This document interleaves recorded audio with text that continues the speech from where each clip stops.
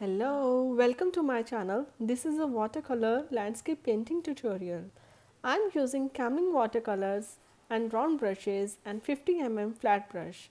I'm gonna tell in an easy way how to do landscape watercolor painting. So don't miss anything and watch till end to learn.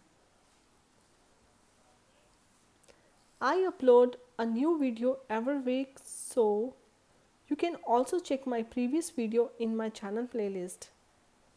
Hope you will like my painting tutorials and show some love by subscribing my channel and click the bell icon for more videos notifications. Thank you.